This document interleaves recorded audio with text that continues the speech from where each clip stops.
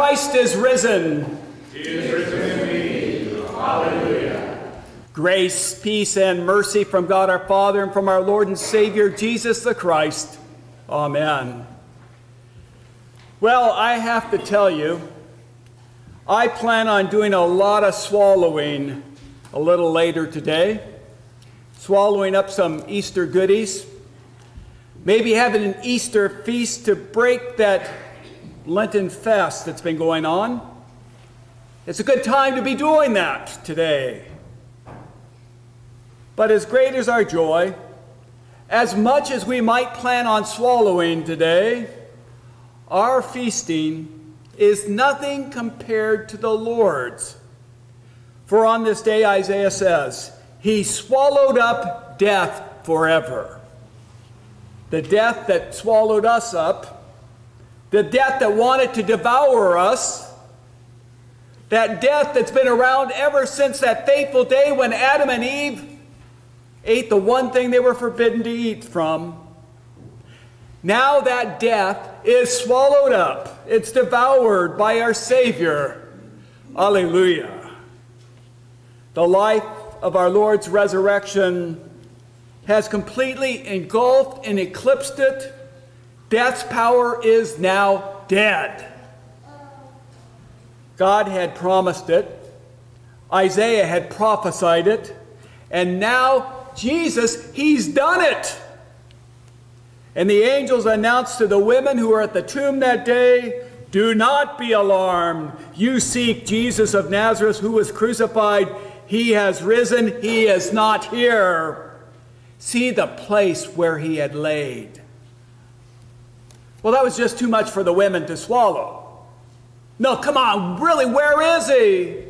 In other accounts, we have Mary saying, Where have you put my Lord? Where's the body? I'll take care of it. They're saying basically, you didn't throw him in the trash like you did with the others, did you? Just tell us.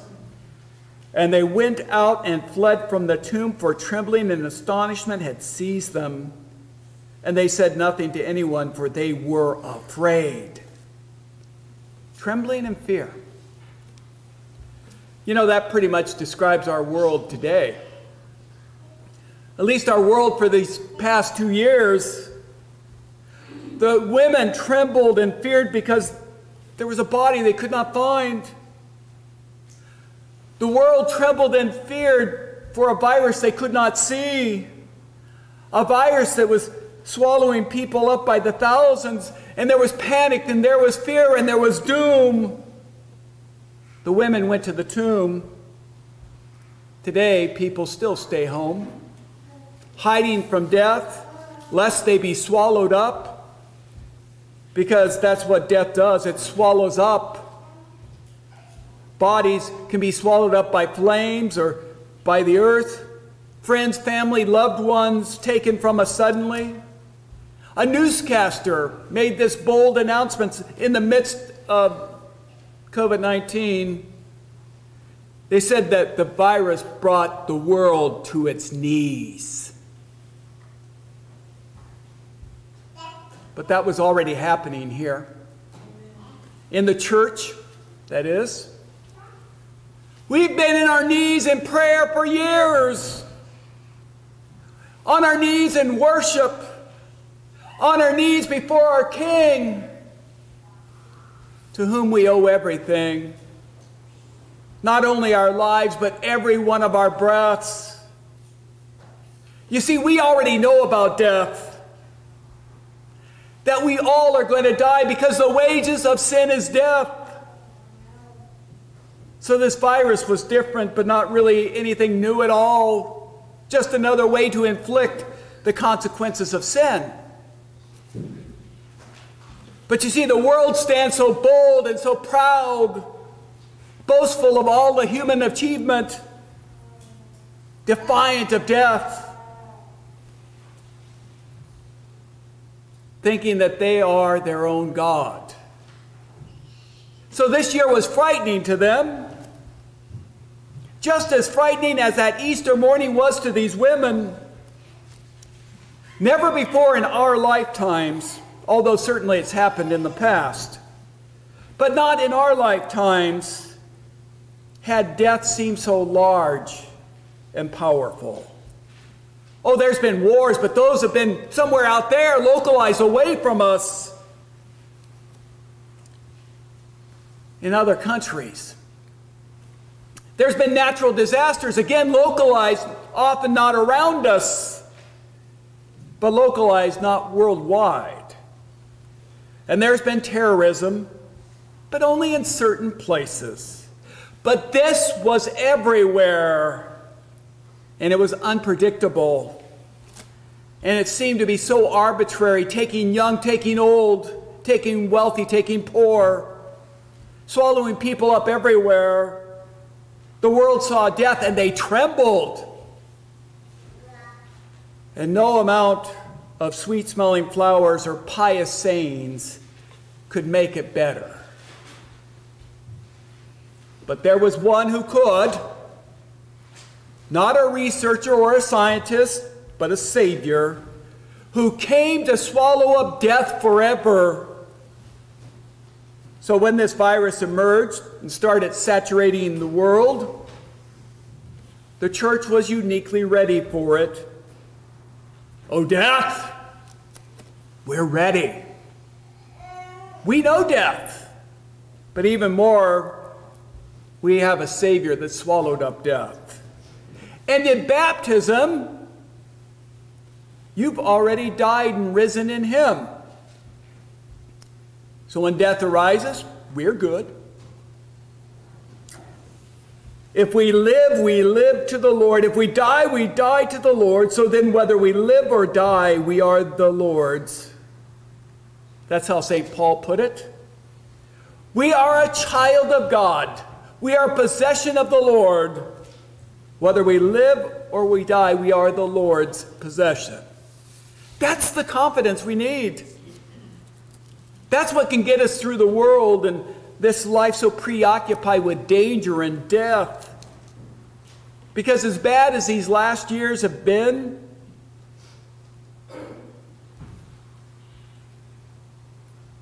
and the reality is, even though it seems so bad, so prevalent, did you realize that COVID was the third cause of death, not the first or the second last year?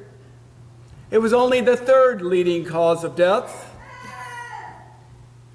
And until it's rendered useless or moot by weakening itself for herd immunity, kind of like it's doing now, or vaccinations or whatever, whether it's gone or not, there still will be death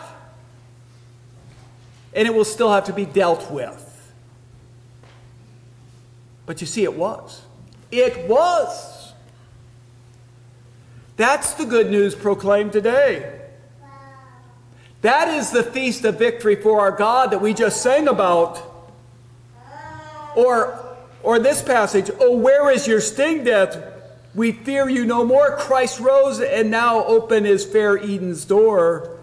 For all our transgressions, his blood does atone. Redeemed and forgotten, given, we now are his own. Another one of our hymns. Oh, there was death. There's always been death. But St. Paul talks about over 500 people witnessed the resurrection of our Lord. 500 people saw the victory over death saw Jesus, who once hung on the cross dead, now walking around. And some of them later would face a horrible death themselves by sword or fire or beast. Those were the early Christian martyrs. But in Christ, they were ready. Oh, death! Yeah, we're ready. We know death, but we have a Savior who has swallowed up death. So, death, do your worst. We're good. And so are you. For on the same mountain where Jesus swallowed up death forever, he also prepared for you a feast of rich food, a feast of well aged wine, a rich food full of marrow of well aged wine, well refined. Isaiah describes that in such scrumptious terminology. It brings joy and gladness to the heart. Of course, you know it better by another name the Lord's Supper. There's no other food or drink for a believer than what we receive here. No better food. The bread of life, the cup of blessing, the body and blood of our Lord and Savior, the medicine of immortality, St. Augustine called it. Food that gives forgiveness and life and salvation, food that gives us Christ's victory over death. Yet this food also points to the feast that awaits us in the future the marriage feast of the Lamb and his bride. There'll be no tears, no sadness, no deaths, only joy and gladness and life. But you see, that's already yours now, not fully realized. The best is yet to come. You see, the women eventually did get that, though they left the tomb trembling and in fear. And your reaction might be the same too. The news of the virus first spread, started killing people and infecting people. It was like that veil of knowledge that was over the women like sin being over all people. But you see, that's okay. Christ doesn't expect perfect Christians. He comes to the imperfect cries of people with his perfection and his forgiveness. He comes when you're weak to give you strength. He comes to those in fear to give peace. And when we're bowed down, he lifts us up. When we don't know what to think, he gives us his word that we would know the truth. When faced with uncertainty, he gives us his promises that we be certain and sure and confident in him. The angel that spoke to those women in the tomb that morning did that. He pointed to Jesus' word and promises. This is just as he told you. Now go tell the disciples and Peter that he is going before you to Galilee. They who receive the good news are to go and share it with others. That death is defeated, the tomb is empty. Jesus swallowed death up. That's our message, too. That's our message to a trembling world, a world full of fear and no direction. It's our message every time death appears, every time it rears its ugly head every time there's someone laying on their deathbed. Yes, death, we know you, but we're ready. We're good. And you can be too. For Jesus' victory is for all people. And maybe, just maybe, these women were transfer, transformed by that news. The disciples later were transformed by that news as well and they couldn't help but tell everybody about it. The Word and the Spirit working in their hearts, making them into the person God wants them to be. So when you're fasting, pardon me, feasting today, when you're swallowing down lots of good stuff and rich food, just remember who feasted first today and what he feasted on. He swallowed your death forever to give you life forever. For Christ is risen. He is risen indeed. Hallelujah. In the name of the Father, and the Son, and the Holy Spirit. Amen. And now, may May the peace of God, which passes all understanding, keep your hearts and minds in Christ Jesus our Lord.